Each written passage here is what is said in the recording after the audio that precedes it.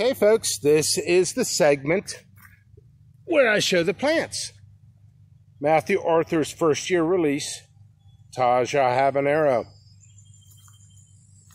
course, it is not a habanero or have genetic properties of a habanero. He was shooting for the habanero heat level, which I'll explain a little bit more in the sit down review part. This part will be the plants. So let's let's actually get the whole net off. We'll start looking at the plants. Ladybugs. Um, I don't get to see plants like this because I isolate to help ensure purity. Um, do not be misled from others who say they isolate and do not use nets or a half a mile radius. There's a lot of that about. Anyway, it's going to storm here, so we're not going to be too long. You, when you get the seeds, you get some with a little bit of uh, purple in the stems, a little bit green, and then you'll get some more purple. And this is from calcium deficiency when you see that, but that's a different segment. This is what your peppers look like unripe.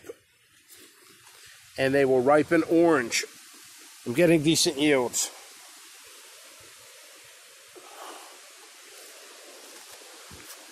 So the time limit is the storm coming. You can see it's starting to get orange. Not quite ready. Here's another one. All right. And there's my timer. The storm coming. All right. So that's the Teja Habanero.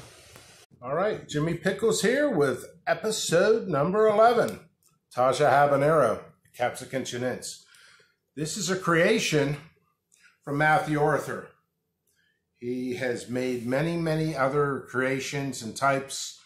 An example, Matthew Arthur, also known as MA, MA Wartryx, uh, MA Daisy Cutter, um, Teja Habanero here um, mini Wartryx, which I will have on my site later this year. And this is 2019. Um, also yellow Wartryx as well.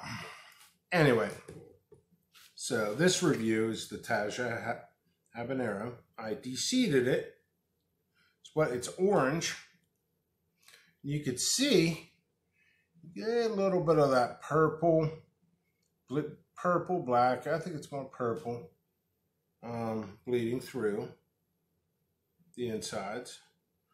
This is not a habanero at all. Teja Habanero, Teja, was named after Matthew Arthur's wife's granddaughter, Teja, just to put a smile on a child. Uh, those who do not know Matthew Arthur, he has been pretty much a legend in the pepper community. He really has. He has come up with some of the absolute tastiest peppers out there. Um, Daisy Cutter is one of my, one of my favorites, um, and he's he's just been very generous, and he's really helped me out in my company uh, for this season. So a personal salute. Thank you, Matthew Arthur. I appreciate So what he did is he made the cross with the Jay's Peach Ghost Scorpion, cross with a purple Naga Viper brain strain. And the coloring, the ripening coloring went from purple to brown. So he took that and he crossed it with the Jay's Peach Ghost Scorpion. Um, at this moment, I do not even remember what generation it is. He said he's been doing it for quite a few years on this one and it seems to be stable. So he released it to me and I'll release it to my company. It, uh, I would not say this one is an exclusive, but a first year release. Um, the difference is a couple other people do have this with his generosity and everything. I tell you what, I'm just mesmerized with this. Shapes for the peppers are fairly consistent. Some you'll get a little bit longer, thinner, more of a tail, stuff like this. Um, mind you, I do have to do based on my scheduling, I'm going to have to fit in about four reviews today, back to back to back to back. So it's, and I take about 20, 30 minute break in between. So I'm not eating the whole pepper. It's not about the challenge. It's about applying. Whew, it's about applying the pepper and the flavor. This is a visual description of basically what's on my website. So those who do not want to read it can actually just watch it. Um, anyway, the smell as a sweet.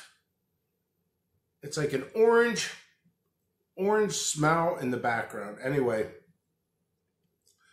I've eaten a few of these. And it's no joke. It's no joke at all. Oh, it's it hits you fast. Now, I might not be able to talk if I do a huge piece. I ate one last night on a nacho with cream or sour cream, and it kind of takes the a little bit of the heat away. So if you put a pepper and uh, sour cream and a chip, you can get more of the flavor. I've learned you can get more of the flavor than just the heat. Same thing if you take a pepper of this and put cream cheese in it. Now, this is woo. So, further, without further delay, I'm just going to eat part of it. And you're going to see the before and after look. I mean, I was out cutting the grass, so. But you're going to see how much I sweat. Like I said, I'm doing multiple reviews. So I should make a decent chunk, but this is enough just to let you know it's the tip of it. And yeah, I'm a little scared, so I did uh, just do it. Mass heat. I, I, I sensed heat before flavor, which is odd. Orange, it's like almost like an orange, orange lemon flavor very citrusy. Citrusy, not so all orange, but if you mix a little orange and uh, lemon, heat's increasing. Tip of my tongue. I'm chewing it up very well.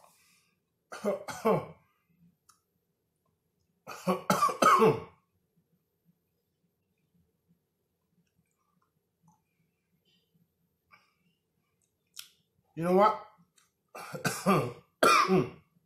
That's good. It's great flavor. You know, I'm going to have a whole bunch of peppers after I deseed them. I'm going to make a sauce personally for myself.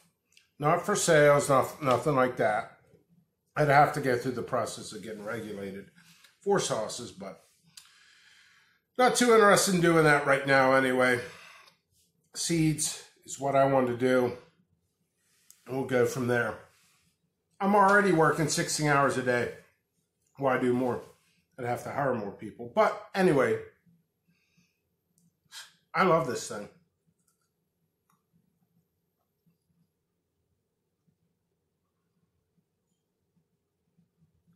Thin skinned. It's almost like a wafer. In fact, you know what? I got to do a whole bunch of reviews, but I am, I'm in love with this pepper.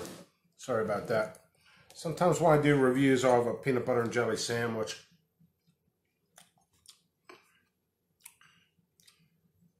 I'll put I'll put half of it in it. What the heck, you know?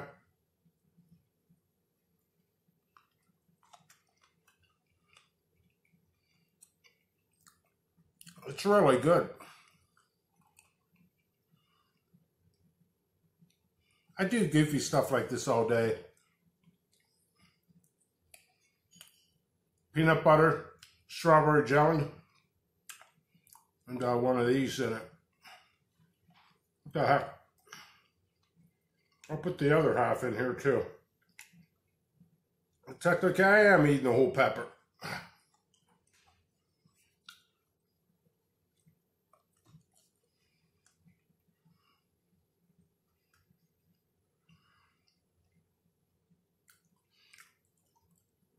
Oh, that caught me right there.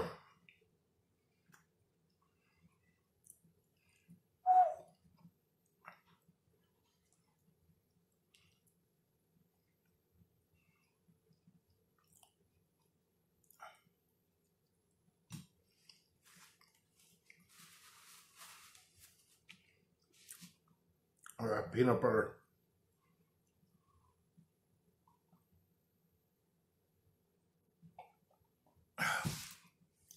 The heat level, I'm actually wanting more now. But the heat level, I'm, I've had some heat levels range on these. Tom says going up a little bit though. Um, I'd say around a ghost level. I've had some that just blew my hat off instantly. Like, wow. This one, there's been a lot of rain lately for uh, the one I just ate. So, it's probably a little bit less heat than the other ones, but I've had some that are just atomic. This one was very hot. Definitely super hot. So, I appreciate everybody watching. These will be on the website by the end of uh, the end of the week, calendar wise. I should have known this before. The upload up, upload date just had two, three more days on there, so I can get around processing the seeds. I got a whole bunch of seeds already. I just got to upload it. All right, thank you all for watching, and stay tuned for the next episode.